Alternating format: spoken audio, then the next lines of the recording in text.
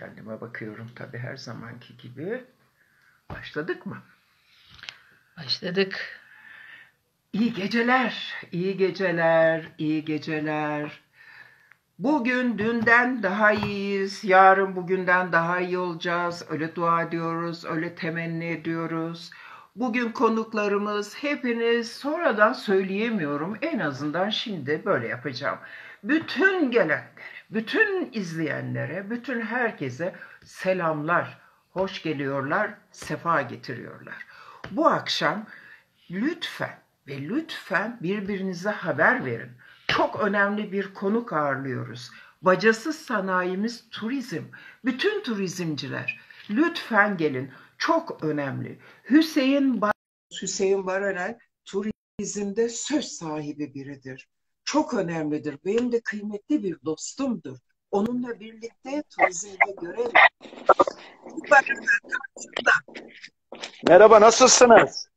İyi, Nazan Hanım, iyi akşamlar. iyi akşamlar. Çok sağ olun, çok memnun oldum sizi gördüğüme. İyisiniz umarım. Çok iyi, hoş görünüyorsunuz ekranda. Vallahi Ses- Ben de şeyleri e, senin için söyleyeceğim. Aynen bıraktığım gibi duruyorsun maşallah.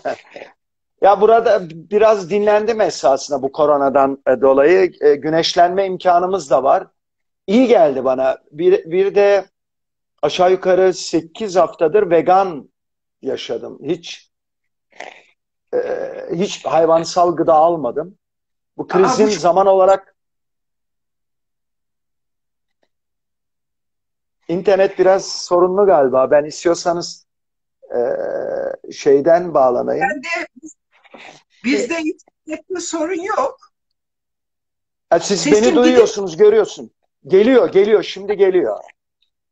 A- ama ara Ben sıra gidiyor sesin. Siz beni duyuyorsun, sen beni duyuyorsun değil mi? Tamam, duyuyorum, rahatlıkla duyuyorum. Onun için hiç problem yok. Rahatlıkla tamam duyuyorum. harika. Hüseyin Bey hoş geldiniz yayına.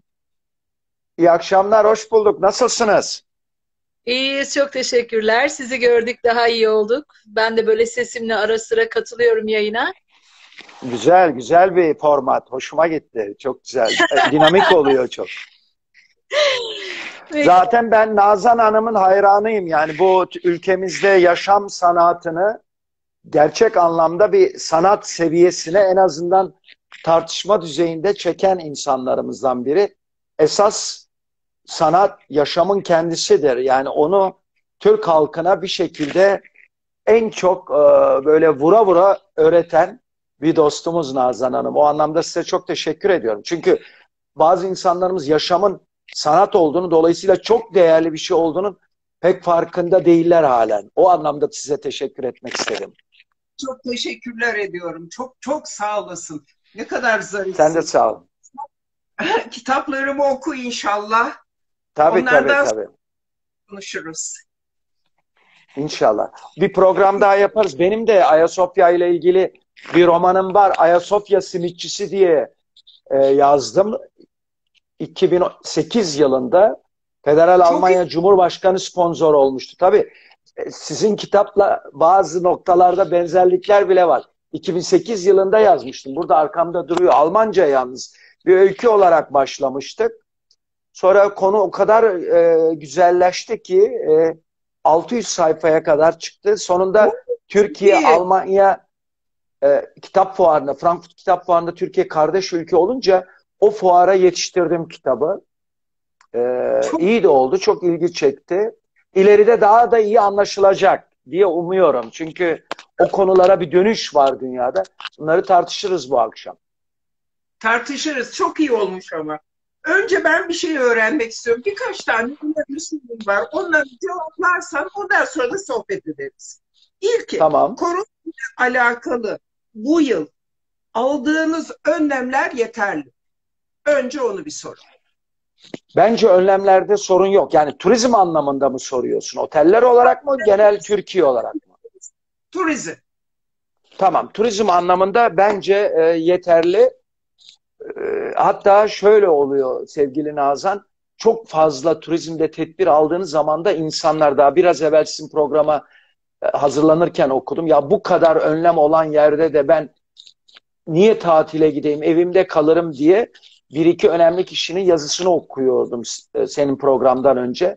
Şimdi e, önlemlerde ve otellerin yeni korona ile hizmet e, mecburiyetine veya anlayışında hiçbir sorun yok. Esasında Türk otelleri olağanüstü bir kabiliyetle bu işi hazırlandı. İnanın çok büyük yatırımlar yaptılar o büfeleri e, kapatmak, bilmiyorum hangi malzemeyle, plexiglas, personeli eğitmek, yine bütün otelin iç yapısında bazı yapısal değişikliklere gitmek bunlar tabii zaten hiç para kazanılmayan günlerde büyük bir maliyet. Türk otelleri bunu çok bonkörce yaptı. Tek sıkıntı yalnız önümüzü göremiyoruz. Yani hala açık konuşmak durumundayız. Aldığımız piyasalardan aldığımız haberler o kadar olumlu değil. Ee, biz bu krizin biraz bu krizi biraz daha hafif atlatacağımıza inanıyorduk ama gittikçe iki ana kaynak pazarda durum Türkiye adına e, ciddileşiyor. Biri Rusya, biri de Almanya. Evet. Yani istiyorsan ile bu detaylara da girebiliriz. Bakalım Girelim. hiçbirimizin deneyimi olmayan bir yıl bir yıl yaşayacağız. Bakarsın bir sürpriz de olur. Yani şu an hiç kimse tam gerçek bir tahminde bulunamaz bence. Ne Bakan Bey, ne biz, ne siz, ne diğer arkadaşlar. Ancak umut edebiliyoruz. Çünkü gerekli olan bütün çalışmalar da yapıldı. Doğru.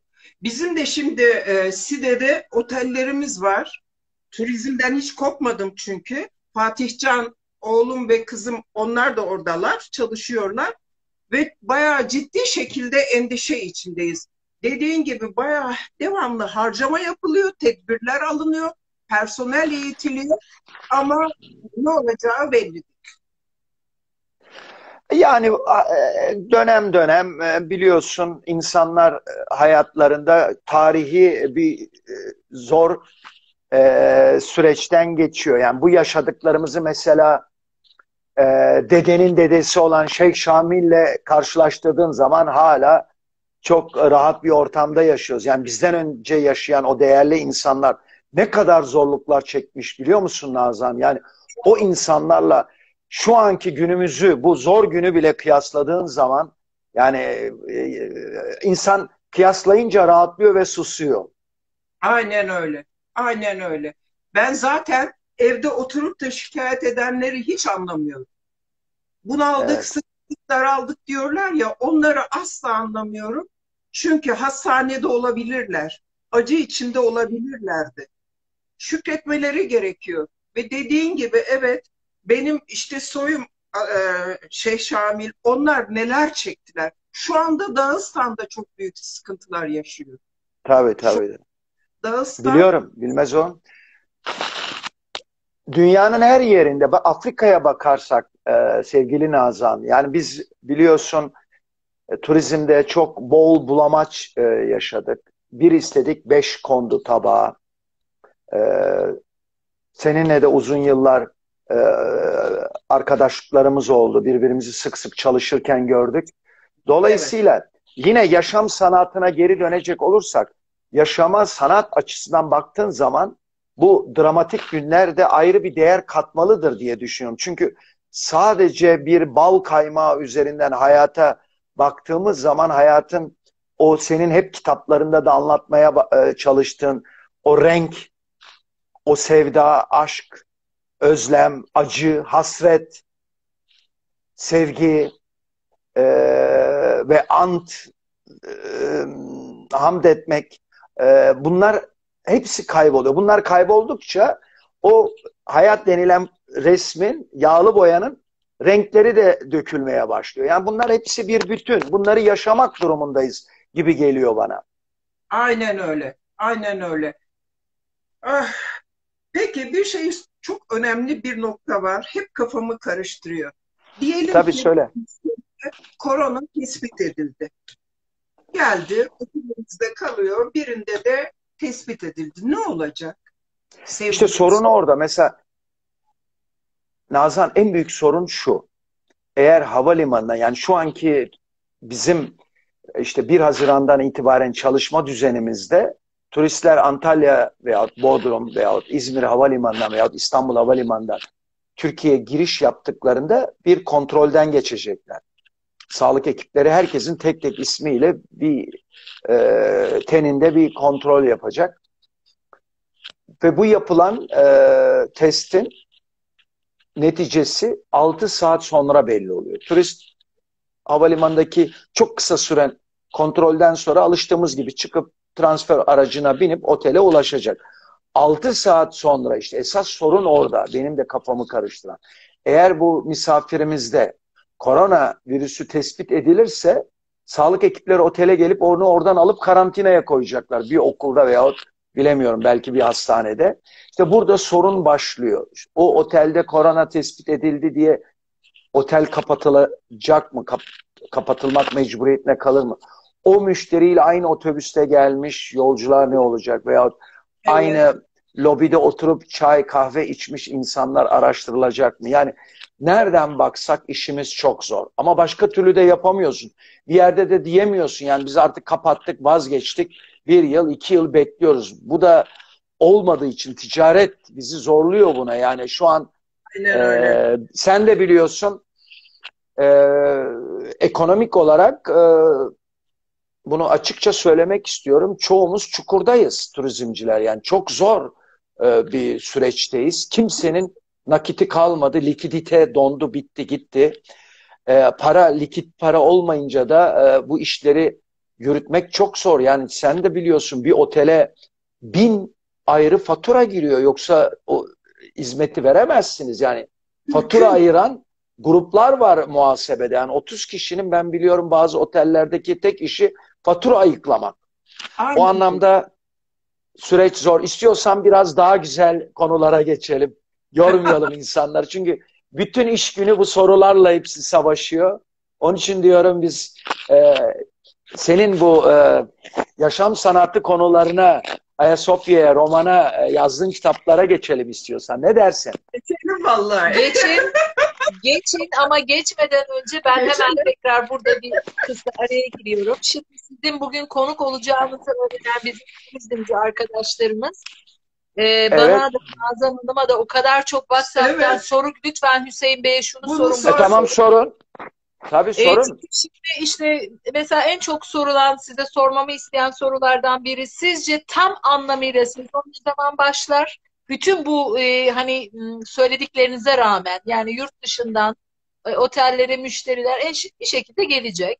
Bir de e, çok sordukları diğer soru biliyorsunuz 4 milyondan fazla bir Rus e, misafir ağırlıyor e, burası. E şimdi Rusya'da bu ikinci konuma düştü. Bu koronavirüsünden dolayı çok ciddi bir yükselme var orada. Bu iki soru çok sık size sormamızı evet, istenilen evet. iki soru. Buna da bir cevap verirsek sonra sizi rahat Ondan bırakayım. sonra biz sanata geçeriz. evet. E, memnuniyetle tabii. Ben şimdi bugün e, bu pro- programda bu soruların gelebileceğini de tahmin ettiğim için hem Moskova ile hem e, Almanya'da 3-4 önemli kişiyle görüştüm. Moskova'dakiler daha çok devlet kademesinde üst seviyede insanlar, dostlarım. Yani en üstteki başkanın da yakınındaki adamlar. Almanya'da aynı şekilde birkaç milletvekili, ulaşım daire başkanıyla görüştüm. Alman Seyahat Ajanteleri Birliği Başkanıyla görüştüm. Kısaca değerli meslektaşlarıma senin ara, e, programında şunları iletebilirim bugün itibariyle. Şimdi Almanya 15 Haziran'da sınırlarını Avrupa Birliği içerisinde komşu olduğu ülkelere sınırlarını tamamen açıyor. 15 Haziran. Yalnız 15 Haziran'da. Yani evet. Alman istiyorsa uçakla Hamburg, Viyana uçabilir. Bugün mümkün değil. İşte ne bileyim Nürnberg, e, Zürich uçabilir. Yalnız çok ilginç İtalya ve İspanya'ya açmıyor. Ha. Tabii. Yani esasında ben içeriden biliyorum ilişkilerim. Esasında Almanlar 3-5 ülkeye turist göndermek istemiyor. Çok korkuyorlar. Yani bu korona bir milli güvenlik olayına dönüştü diyor ülkemiz için, toplumumuz için. Yani bir yıl tatil yapmamakla e, insanlarımızı desinfekte etmek etme riski aynı e, seviyede değil diyor. Yani bir yıl tatil yapmasınlar ama insanlarımız sağlıklı kalsın. Çünkü e, sevgili Nazan Almanya'da özellikle ve Benelux ülkelerinde halkların e, yaş ortalaması çok yüksek. Mesela Almanya'nın bütün Almanya'nın yaş ortalaması 51 ama bazı kentlerin 58. Mesela Evet.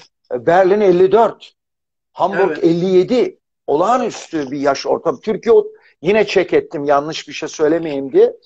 E, iki yıl önce Türkiye 29,7 idi. Şimdi 31'e çıkmışız. Yani 31-32 yaş arası bir ortalama var şu an Türkiye'de. Yani Almanya'nın en az 22-23 yıl altındayız. Şimdi Evet. orada koruma önlemleri Türkiye'den biraz daha ağır olması lazım. Bildiğin gibi yaşlı insanları daha çok yakalıyor bu virüs. Bir de tabii e, Almanlar hükümet olarak biraz e, çok e, eli açık davrandılar. Hükümet de farkına vardı ne kadar ödediğini, verdiğini ve hangi faturaların yakında hükümete, devlete geleceğinin farkında olduğu için halkına açıkça da söylüyorlar. Bakın bütün imkanlarımızı kullandık sizin için. Her şeyi bir devlet olarak size vermeye çalıştık. Vereceğiz de ancak eğer tatil için bizim öngörmediğimiz AB sınırları dışında ülkelere giderseniz bütün sorumluluk sizindir. Sigortasal olarak orada mahsur durumda da kalırsanız biz gelmeyiz artık. Çünkü 80 ülkeden Almanları getirmek için bir geri getirmek için bir servet harcadık. Bunu ikinci defa yapamayız diyorlar. Esasında insanlara telkin ediyorlar. Bu yıl gitmeyin, çevrenizde tatil yapın. Ya bir şekilde oralarda imkanlar yaratın kendinize. Esasında o kadar ileri gidiyorlar ki. Ama baskı da büyük siyasiler üzerinde. Esasında e, şehrinizden, vilayetinizden, köyünüzden ayrılmayın. Yakın çevrede tatil yapın. Bir de diyorlar Almanya'da yakın çevrede tatil imkanları çok geniş. Rusya'ya acele e, hızlıca dönecek olursam Rusya esasında bir şok yaşıyor şu an. Moskova bölgesi tamamen kapalı. Sayılar maalesef çok yüksek. Yüksek. Rus halkı da ye- yeni yeni olayın farkına vardı. Bir de e, sevgili Rus dostlarımızın kendi ülkelerindeki e, ev konut e, kalitesi çok düşük maalesef. Çok küçük evlerde yaşıyorlar. Düşünebiliyor musun? 5 kişi 70 metrekarelik evdeler ve karantinadalar. Biz yine bakkal altımızda, kebapçı solumuzda, balıkçı. Yani bir telefonla istediğin 100 çeşit meyve, sebze anında gelebiliyor. Bunun kıymetini de bilelim. Bu birçok ülkede yok. Şu an dünyanın en zengin şehirlerinden New York'ta benim arkadaşlarım var. 40 gündür yumurta kırarak e, besleniyorlar. Yok başka Yok. bir şey. Yani, e, dolayısıyla e, o soruna dönecek olursak e, tabii isterim çok olumlu konuşmak. Şöyle toparlayayım ama konuşamıyorum. En iyi tahminler Ağustos'un ilk haftasına kaydı. Yalnız Eylül, Ekim, Kasım, Aralık büyük sürpriz yapabilir. Mesela e, Aralık, e, Kasım, Aralık'ta bile çok iyi iş yapabiliriz. Aniden açılabilir. Ruslar Aralık'ta bile gelir. Onlar için soğuk değil. Mutlaka buradan dışarıya çıkmak yani Moskova'dan dışarıya çıkıp St. Petersburg'dan özellikle küçük Rus kentlerinde değil. Zaten bize St. Petersburg'la e, Moskova yeter. Gitmem lazım, yeni bir yer görmem lazım, değişiklik lazım diye bazı insanlar palısını pırtısını toplayıp ilk Antalya uçağına veyahut İzmir uçağına veyahut İstanbul uçağına binebilir. Ama kesin olarak göremiyoruz. Yani benim 45. sezonum bu yıl. Ama böyle bir tecrübe edinmedik ki piyasalarda. ya. Bak şimdi mesela TUI 19 euroydu hisse senedi. Daha birkaç ay önce. Bugün 2,9. Kimsenin ka- 64 bin insan çalıştırıyor TUI. Ve hiçbir ciro yapamıyorlar yani ne yapsınlar? Her şekilde koskoca Lufthansa, Türk Hava Yollarımız. Düşün günde 140 ülkeye sayısız uçak sefer vardı. Bunun gündeki e, bir günlük cirosunu sadece düşünün. Hepsi kayıp şu an. Her türlü işletmede e, çok ciddi sıkıntılar var. Onun için diyorum zaten insanlarımız bunu biliyor. İyi bir haber alırsam ilk size ileteceğim onu telefonda. Sana ileteceğim. Söz veriyorum. Şu an ama bunları söylemek mecburiyetindeyim. Yani çok dikkatli olalım. Fazla uçmayalım. E, yatırımlarımıza özellikle nakit paraya arkadaşlarımız çok dikkat etsin. Bu yıl ayakta kalan bir daha devrilmez. Benim motom bu. Hayatta ve ayakta kalalım bu yıl. Büyük bir başarıdır. Türk turizmi çok daha büyüyecek. Bu korona vesilesiyle yediğimiz tokat bizi daha hassas yapacak. Doğayı, Evet. fauna, florayı, sanatı, kültürü, insan sevgisini destinasyonlara daha bilinçli olarak taşıyacağız. Daha paylaşımcı olacağız. E, Daha çok bu dünyamızı genel anlamda sahipleneceğiz. Bu da destinasyonları e, e, boyutunu artıracak, kalitesini yukarıya çekecek, sağlamlaştıracak ve gelecek nesillere aktarılacak bambaşka bir e, üst değer olarak kendini yeniden bir e, formatlayacak. Zaten bu şekilde devam edemezdik Nazan. Bir şekilde duvara çarpacaktık. Yani doldur boşata döndük. Çok hızlı sayılar. Herkes elinde listelerle dolaşıyordu. İnsanların yüzüne bakmıyorduk. O duruma gelmiştik. Yalan mı? Yani Doğru. ço- onun için detaya inmeyelim. Bu konuları çok sık konuştuk. İnşallah diğer senin o güzel konuların için vakit kalır. Onları biraz tartışırız. Var vaktimiz var. Vaktimiz var var. Buçukta bitireceğimiz için şu anda vaktimiz var. Vaktimiz var. Şimdi ben yeni bir kitap yazıyorum. Ondan sana söz edeyim. Bu kitabınızı biliyorsun değil mi? Bu yeni yayınlanan kitap. Evet. Onu okumadım daha onu alacağım. Tamam. 14. Onun biraz içeriğini anlatabilir misin çok kısa? Elindeki Tabii. kitabın. Evet. Türk bu Elif çok güzel anlatıyor. Bunu Bu kaçıncı kitabın? Dokuzuncu olması. hayır 14. Maşallah. 14. kitabın oldu. Harika. Öncü kitabı. Bu bir Türk yazar bayan var ve Türk devletleriyle alakalı ama antik kadim Türklerle alakalı araştırmalar yapıyor bir sürü bir sürü bir sürü. Fakat çok merak ediyor. Aslı ne? Onlar nasıldılar? Nasıl yaşadılar? Ve sonra bir gün fantastik bir kitap. Oraya gidiyor. İlk Türklerin olduğu yere gidiyor. Ve orada Hmm. neler yaşıyor? Neler yaşıyor, yaşıyor, yaşıyor. Kimlerle karşılaşıyor? Ne adetleri, Türklerin ne olduğu, nasıl olduğu bütün sırayla görüyor, görüyor, Çok görüyor. güzel. Benim bütün kitaplarımda aşk var. Aşksız olmaz. Orada Tabii tabii. aslında öncesinden birine de aşık oluyor ve sonra dönüp bu, bunu anlatıyor. Aslında Anka kuşu Yalnız seyahat ediyorsunuz. evet. Harika. Fantastik. Ama Tamam. senin Ayasofya kitabını herkesin okumasını isterim. Başladım ona. Ee, çok etkiledi beni. Bir de şunu unutmadan söyleyeyim. Bizim bir e, grubumuz var. E, Old City İstanbul Otelcileri diye. Hepsi çok kültürlü otel genel müdürleri, turizmci arkadaşlar. Bunlar hepsi Ayasofya ve Sultanahmet'in civarındaki e, otellerin ya sahipleri ya da e, müdürleri, genel müdürleri. Şimdi hepsi heyecanla senden haberdar oldu. Ben çünkü onlara da bildirdim. E, o grupta benim en yakın olduğum Serdar Balta var. Hemen Ayasofya'nın bitişindeki Otoman e, otelinin e, genel müdürü uzun yıllardır. Şimdi ben onların adına seni bir yemeğe davet etmek istiyorum. Seninle tanışmak istiyorlar. Yemeği de yine Sultanahmet'te vereceğiz otelci arkadaşlarla. Onlarla öyle bir gece geçirip o bölgeyi sen çok iyi esasla çok büyük malzeme senin kitapların. Bunları mesela İngilizceye, Arapçaya, İspanyolcaya. Fransızcaya çevirip yani e, Mehmet Ersoy Bey'e de bakana da söyleyeceğim bunu. Çünkü o kadar güzel kitaplarım var ki o bölgeyle, İstanbul'la, Türkiye'yle bizim esas geçmişimizle bunları hikayeleştirmişsin. O gerçek tarihi verilerin içinden böyle yeni hikayeler ama otantik hikayeler e, yaratmışsın. Bunlar çok büyük değerler. Esasında bizim bugünden itibaren yapmak istediğimiz, dönmek istediğimiz yeni turizm şeklinin tuğlaları senin elinde var. Aynen Sen bunları hazırlamışsın. İşte bunları Aynen. ben de anlatacağım. Topkapı şifresi. Tabii Ben tabii. Yani Topkapı- isim bile olağanüstü. Evet, onu e, Topkapı şimdi şey var. E, Sultanahmet Meydanı'ndaki bütün değerli yerleri yazdım. Şimdi yayınlanmak üzere bekleyen bir kitabım var Süleymaniye ama aslı Mimar Sinan. Kimse Mimar Sinan'ı bilmiyor.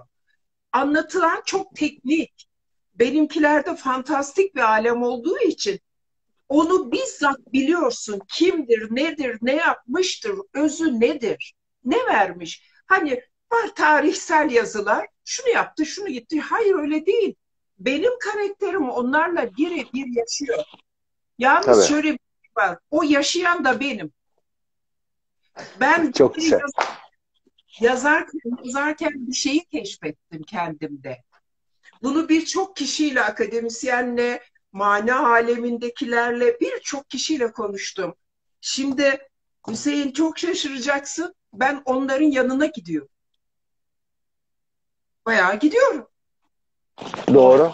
Kendini kaptırdın mı gidiyorsun. Herhalde yani yemek içmekten de kesiliyorsundur diye düşünüyorum yazarken. Onların Yok. içine girdin mi? Hayır hiç öyle yeme içme yok ama gidiyorum. Mesela bu Türk devletini, şey Türk kitabını yazarken benim çok ama çok merak ettiğim biri vardı. Ben onu dedim tanımalıyım, onu görmeliyim. O kadar çok e, dua etti ki ben evet dedem Korkut'la uzun gece sohbet ettim.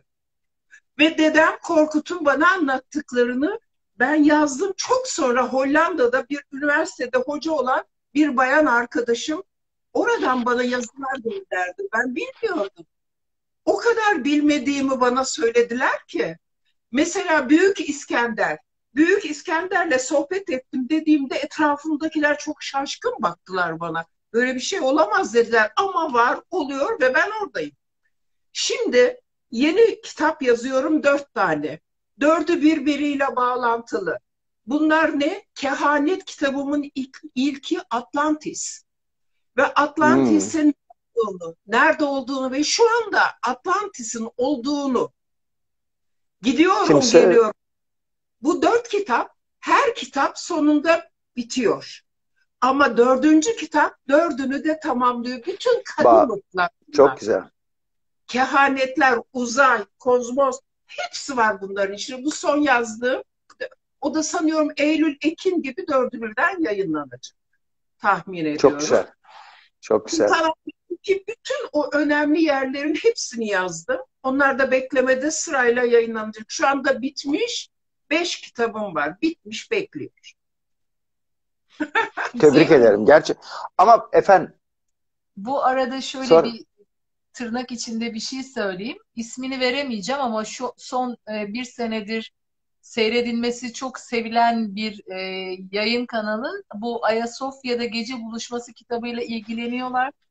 Belki onu bir e, film olarak da çekmeyi düşünüyorlar. Ancak biz görüşmesini yaptığımızda korona patladı. Evet. İnşallah Tabii. biraz düzelirse özellikle Ayasofya Dünya Pazarı için çok önemli bir kitap. Sizin de vurguladığınız. olağanüstü ve hikaye de çok güzel Nazan Hanım'ın hikayesi.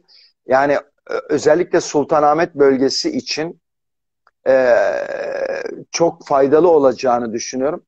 Ben zaten uzun yıllar yani hayatım Türkiye'yi turistlere anlatmak, işte yeni pazarlar bulmak, işte seyahat ajanteleri üzerinden Türkiye'ye turist getirmek ile ilgili geçtiği için pazarlama unsuru olarak öykü yazarlığını çok küçük yaşta keşfettim. Yani reklam sloganlarından öte küçük, çok kısa, mini, minimalist öykülerle insanların ne kadar heyecanlandırıldığını eğer kelimeler gram gram doğru seçilirse e, etkilendiğini o zaman gördüm, e, hissettim ve hep bunun üzerine çalıştım. Çok güzel 3-5 e, kalıcı piyasanın o yıllarda çok sahiplendiği birkaç slogan bile yarattım o vesileyle. Yani o tabii tabii. Şimdi mesela Ayas tabii yani bazı şeyler sloganlar çok banal. Adam yani 150 milyon euroya otel yapıyor Nazan. Ee, her detayı düşünüyor ama pazarlamaya gelince en banal yani bugünkü insan psikolojisine, sosyolojisine e, uymayan böyle çok ucuz, müşteriyi hatta kızdıran, iten sloganlar. Mesela e, hayallerinizi bizde yaşayın. Müşteri söylüyor, sen kimsin ya diyor benim hayallerimi bana yaşatacak. Yani müşteri kendini küçümsenmiş hissediyor. Bir otel onu dememeli.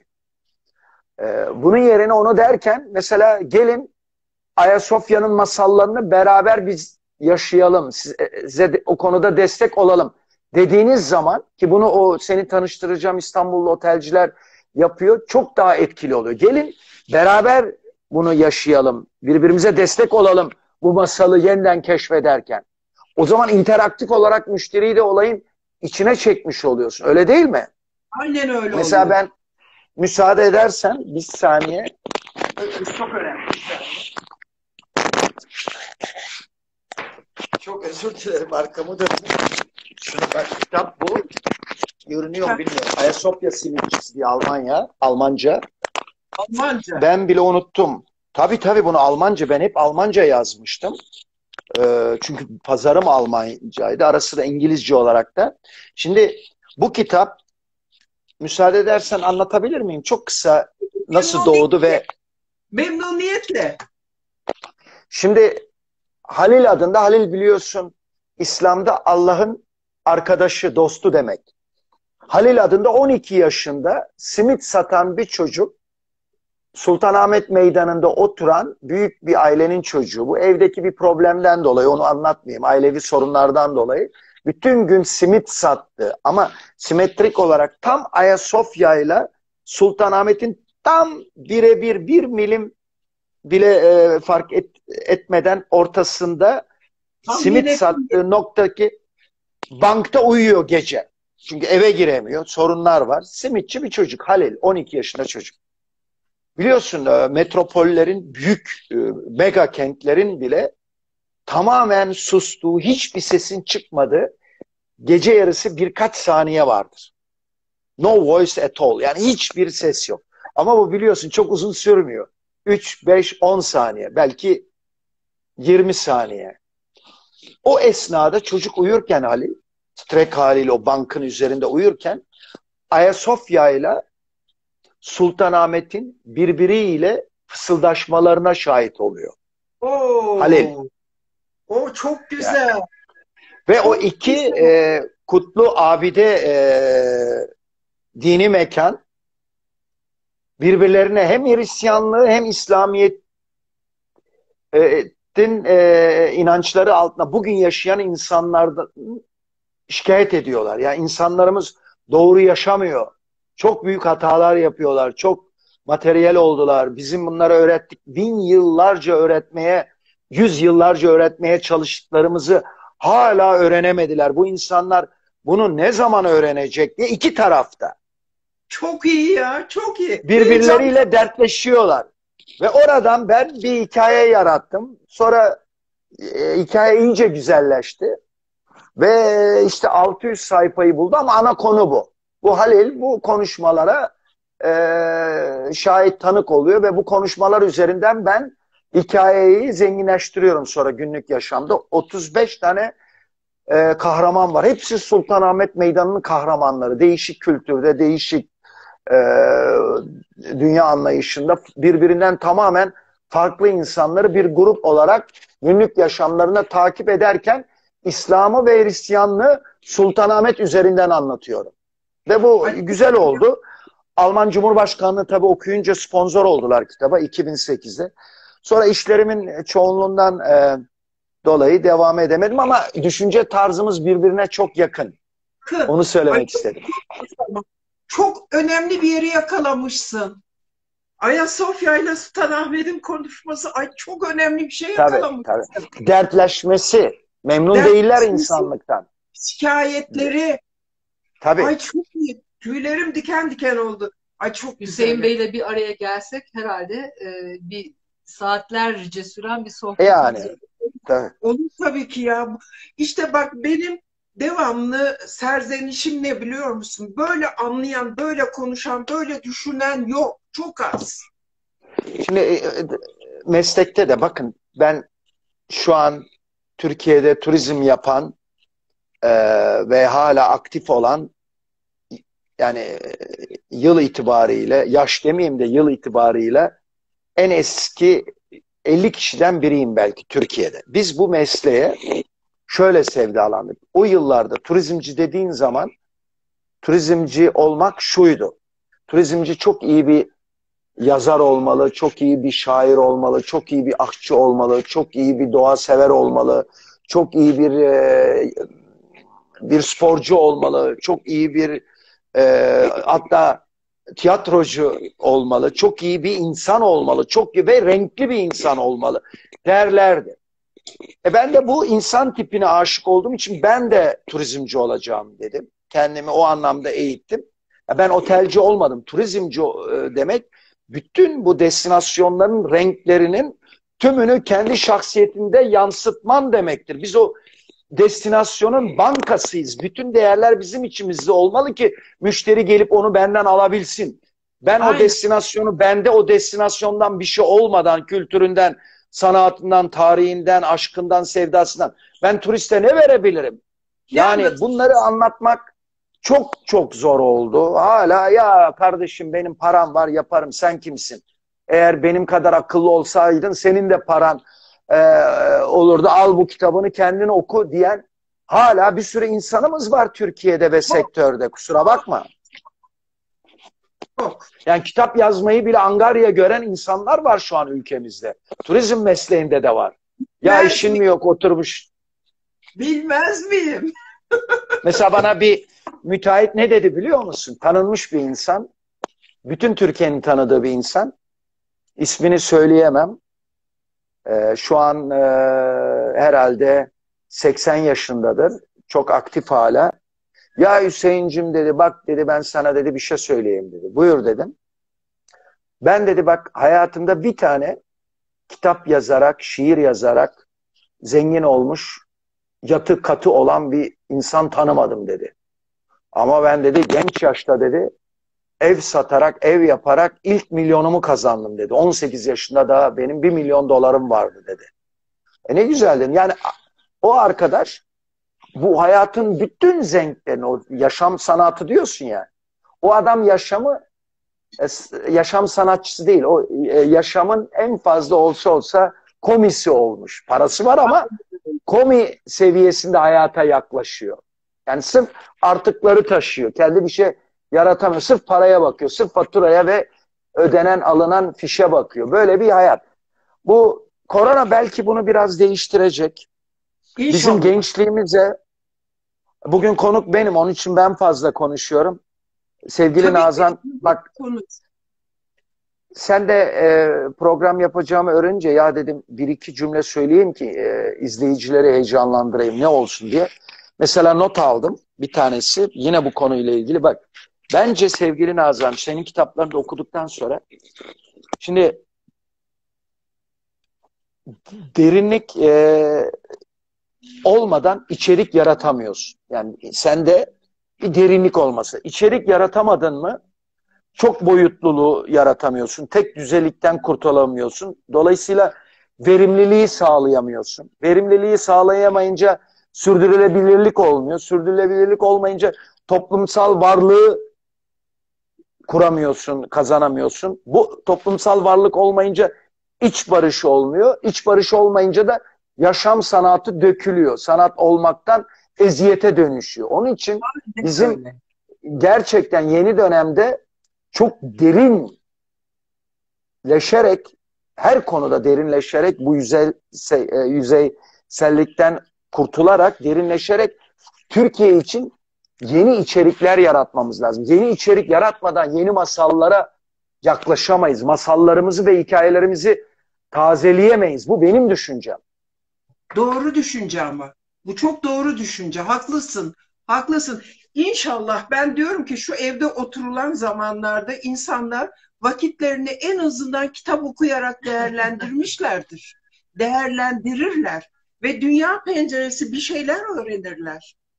Böyle bakıyoruz. Ya ama yani gidişat pek iyi değil sevgili Nazan. Biliyorsun yani şimdi o konuları da açıkça söyleyelim. Mesela Türk halkı şu an kültür e, hareketliliğinde saçma sapan dizilere kilitlendi.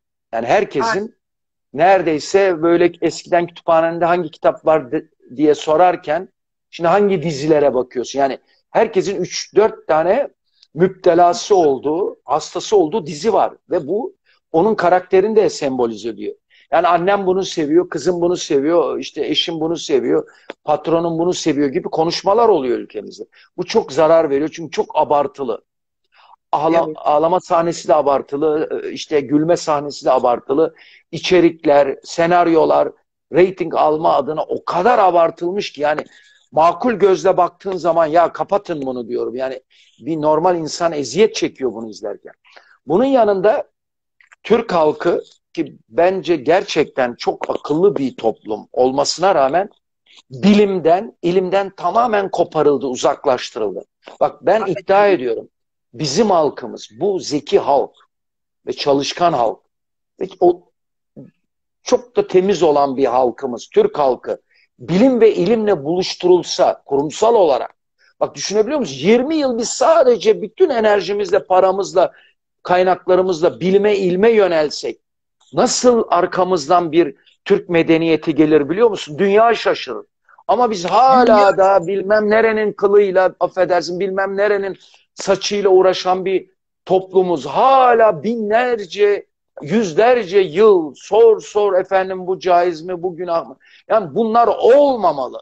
Bambaşka Evet. konuları tartışmamız lazım. Dünyada o kadar büyük konu zenginliği var. Yani kendi tarihini bilmeyen, kendi atalarını tanımayan, kendi dinini bile tam olarak çözemeyen, çözememiş, her şeyi yüzeysel bilen ve yüzeysel bittiğinde de son derece iddialı olan, iddialı olduğunda da bazen radikal olup tehlike bile fiziki anlamda arz eden gruplar oluştu. Çok yazık. Çok yazık. Aynen ve söylediklerinin hepsine katılıyorum. Bir kere çok aşırı cahil cesareti içinde olduk. Her şeyi biliyoruz. İnternetten bir iki şey okuyorlar. Hiç aslı yok. Ve ben bazı şeyleri yazıyorum altına yorumlar yazıyorlar. Şaşkınlık içinde takip ediyorum.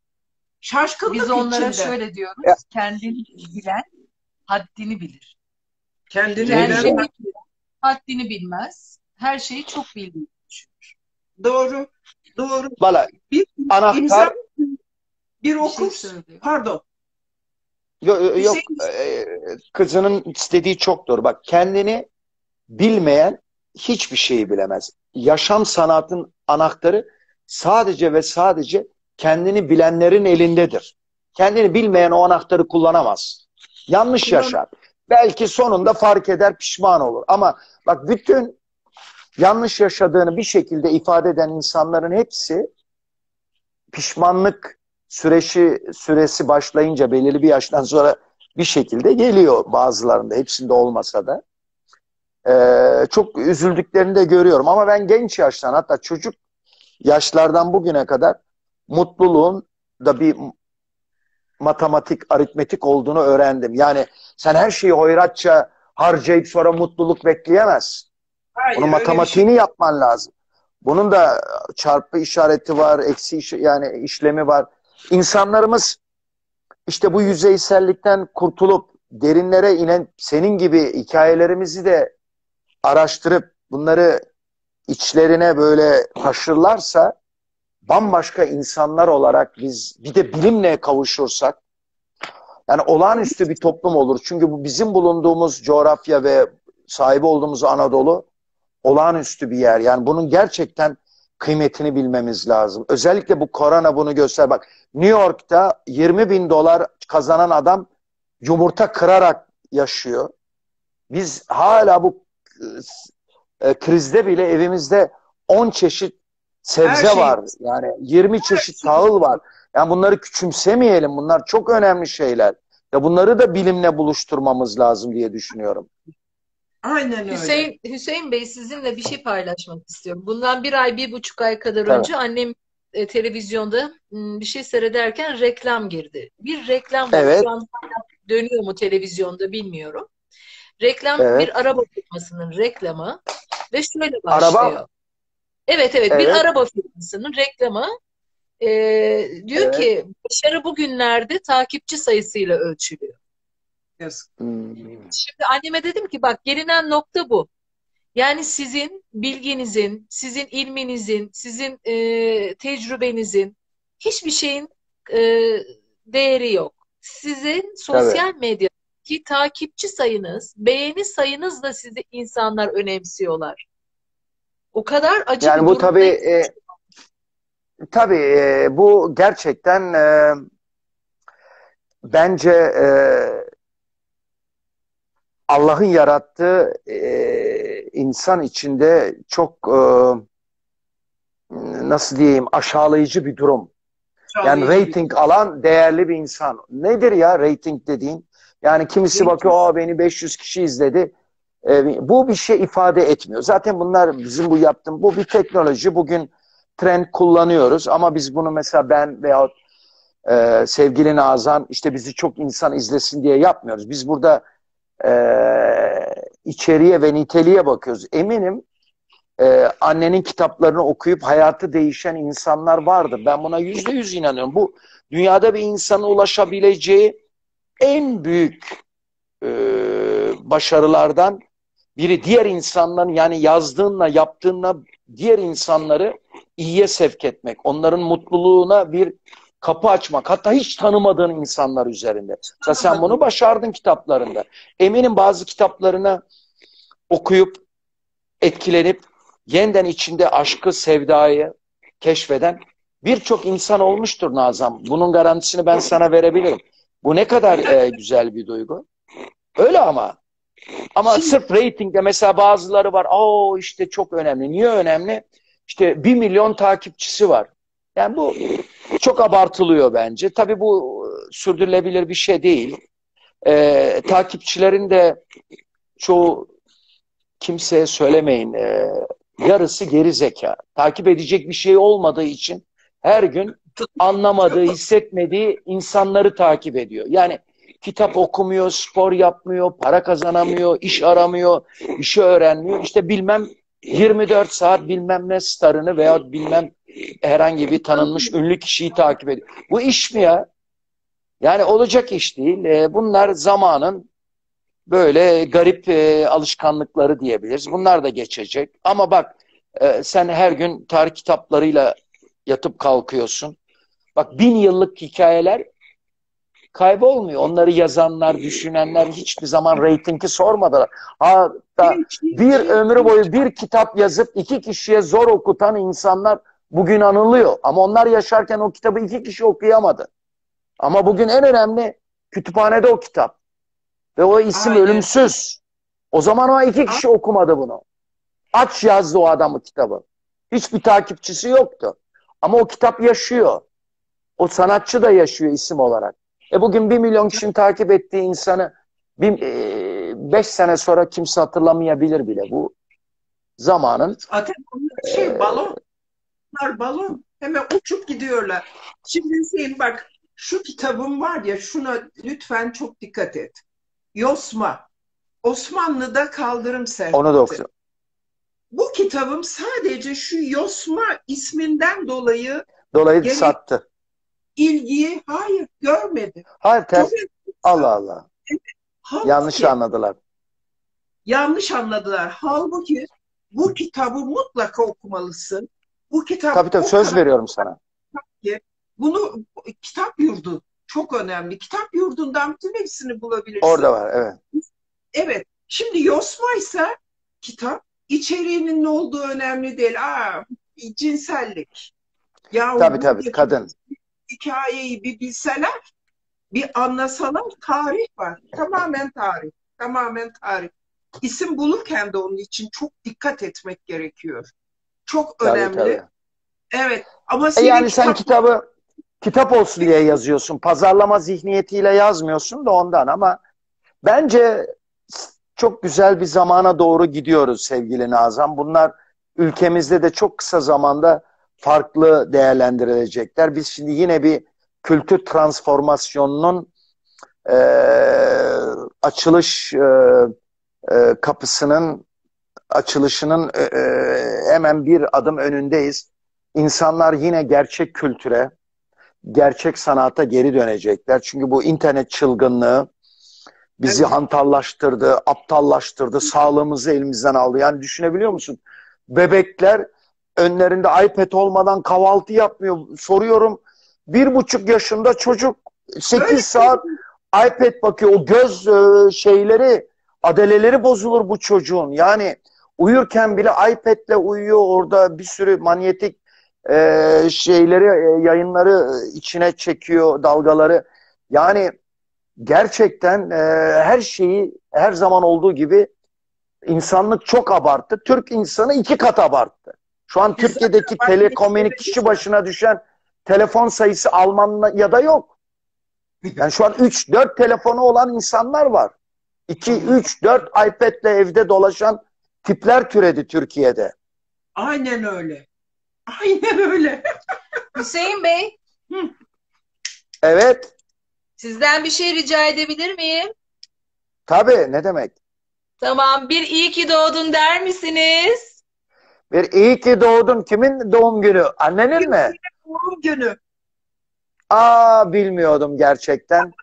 Ee, çok çok uzun, mutlu, heyecanlı, araştırmacı ve çok çok yeni şeylerin şeyleri de öğreneceğin uzun bir ömür, mutlu, huzurlu bir ömür dilerim sana Nazan. Amin. O Amin. zaman bir dilek- Bak bana bana denk geldi. Çok memnun Evet. oldum.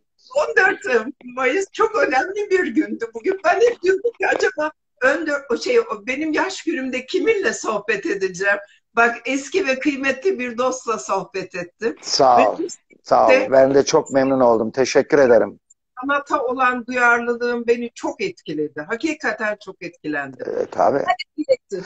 E, Yani ben tabii sanatçılarla da çok beraber oldum biliyorsun. Ee, yani sanat özellikle bir turizmci olarak e, sanat olmadan e, bu iş çok yavan kalıyor. Hatta ben yavan turizm diye bir e, köşe yazısı da yazmıştım 15 e, yıl önce. Tabii beni e, ben çok küçük yaşta bu işe girdiğim için etkileyen ve o yıllarda önüme çıkan birkaç sanatçı oldu. Bir tanesini anlatabilir miyim? Bir Alman fotoğraf sanatçısı. Tamam. Sene 85 çok soğuk bir kış günü Ocak 85 bir Alman geldi. Tanımıyorum. Ee, beni aramış. Konsolosluk bana göndermiş. Frankfurt'tayız Almanya'da. Geldi böyle sanatçı tipli, saçları dağınık bir e, Alman 45 yaşlarında. Ben de 25 yaşındayım. Gibi yani evet öyle olmam lazım. Ee, ben dedi fotoğrafçıyım dedi. Sanat fotoğrafçısıyım. Adım Klaus Bieber. Üç ay Anadolu'yu gezdim. Ağrı Dağı'ndan işte e, Priene Millet'e kadar oralarda bizzat orada uyudum. Ve 10 bin tane fotoğraf çektim Türkiye ile ilgili. Bir kuruş param kalmadı. Evim hacizde. Bir proje yapıp beraber bir şey yapabilir miyiz diye. Böyle direktman adam bunu bana söyledi ama yanında hiçbir fotoğraf falan yok. E dedim ben de tabii çok açık insanım bu konulara. Dedim olabilir falan. Dedi seni dedi evime davet edebilir miyim dedi. Ee, ondan sonra evimde dedi her şey göstermek isterim dedi. Uzatmayayım gittim evine akşamüstü işte 2-3 gün sonra. Adam bir açtı o fotoğrafları falan şaşırdım. Bak dedi bu fotoğrafı dedi 7 günde çektim dedi. Böyle ağacı asılı yattım uyudum dedi o güneşi yakalayabilmek için. Ağrı Dağı, Aydın Ovası, Menderes Ovası, Antalya, Termesos. Yok yok her yeri çekmiş adam. Ve yani her fotoğrafın önünde durup ağlayabilirsin. O kalitede ve o görsellikte. Tamam dedim biz bir şey yapalım. Yüksel Pazarkaya vardı. Almanca'da en iyi şiirleri tercüme eden. Ben o yıllarda e, Orhan Veli Kanık'a aşıktım şiirlerine. Hala en çok onu severim. Benim ruhumu en çok o. O kitabını aldım hemen. Yüksel Pazarkaya'ya gönderdik. Veya mevcut vardı galiba. O tercüme etti onları.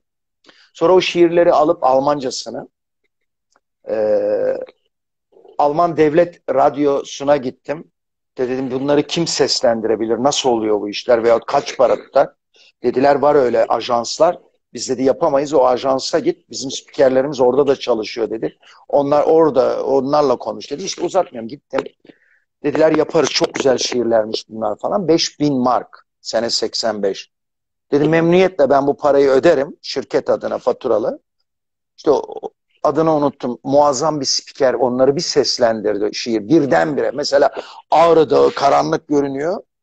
Ee, şimdi biz bunu film haline getirdik. Bütün fotoğraflarını kullandık. Sonra esas işi anlatıp hemen bitiriyorum. Ben daha çok Anadolu turları zaten satıyordum o zaman. Delta Rising diye Kamel'e bağlı büyük önemli bir şirket vardı. Ben de onların satış müdürüydüm Almanya'da.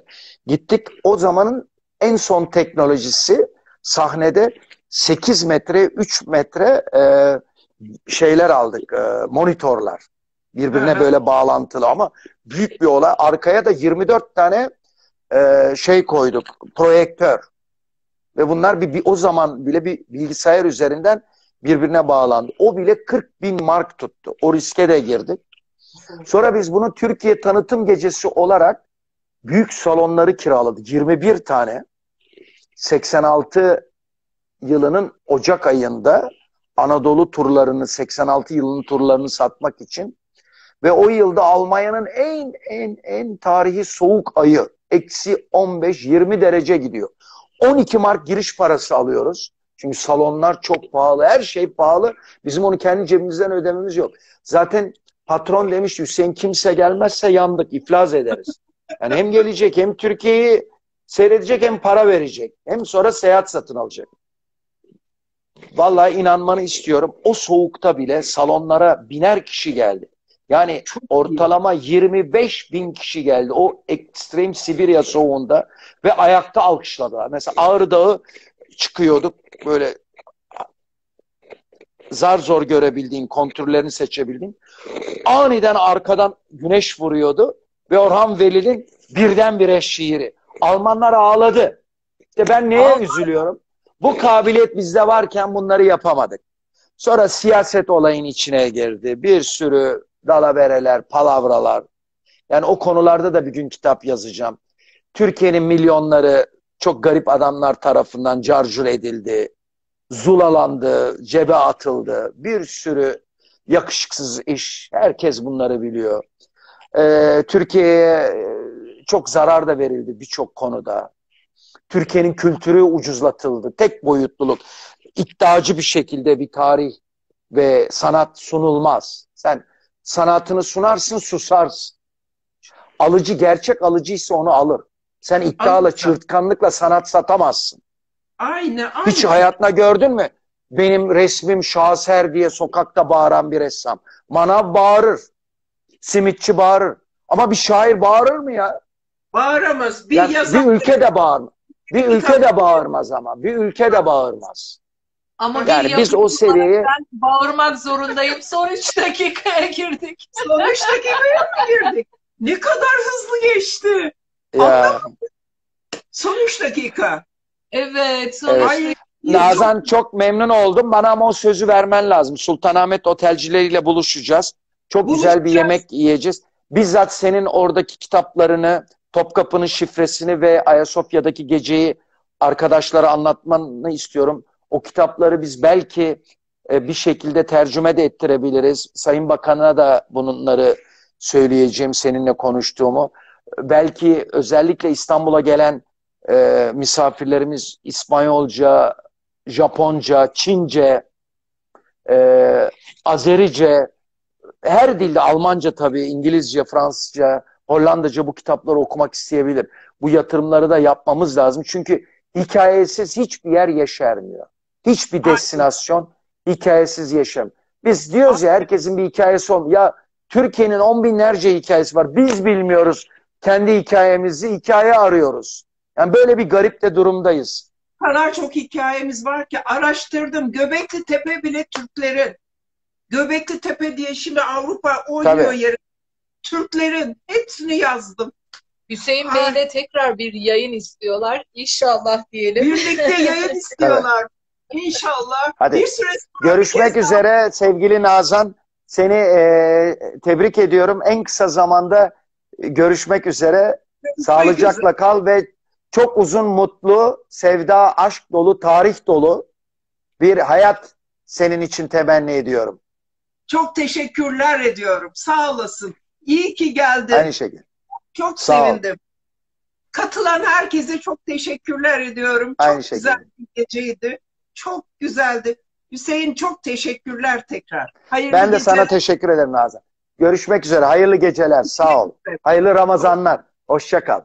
Hoşça kal. Hoşçakalın. Sen de hoşça kalın. Teşekkür ederim.